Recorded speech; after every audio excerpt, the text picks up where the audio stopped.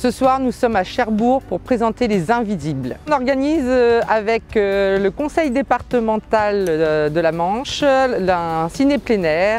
Sur la tournée de 8 dates, les bénévoles des jambons ont tourné donc euh, ces bénévoles-là sont issus des égaluantes et euh, d'autres sont venus aussi se, joindre à nous. Et euh, parlant des égaluantes, aujourd'hui d'ailleurs on, a Pierre-Olivier Madeleine qui est venu avec nous pour nous donner un coup de main comme nous on peut venir donner un coup de main sur les égaluantes et ça c'est super sympa. En fait on avait peur d'être un peu à la limite au niveau des bénévoles donc en fait on a lancé sur Cherbourgeois sur Facebook un appel aux bénévoles et en fait du monde a répondu donc du coup aujourd'hui on a Manon qui est venue euh, dans l'équipe euh, se joindre à nous euh, avec toute sa bonne humeur pour nous donner un coup de main à l'installation et à la soirée. La convivialité de mise, elle est même obligatoire parce que sinon un bon bénévolat, une bonne ambiance ne pourrait pas fonctionner avec tout ce système-là. Nous on est très heureux effectivement d'accueillir sur Cherbourg en Cotentin cet événement.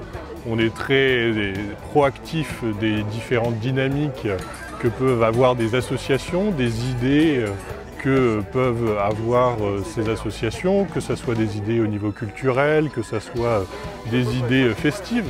Nous, ce qu'on veut sur Cherbourg-Cotentin, c'est créer une dynamique d'être festif, notamment sur cette période estivale, et qu'effectivement, malgré le Covid, malgré ce qui se passe au niveau du contexte national, où effectivement des règles sanitaires nous contraignent, pour autant, on est là aussi pour se faire plaisir et Cherbourg en Cotentin prend sa part pleinement.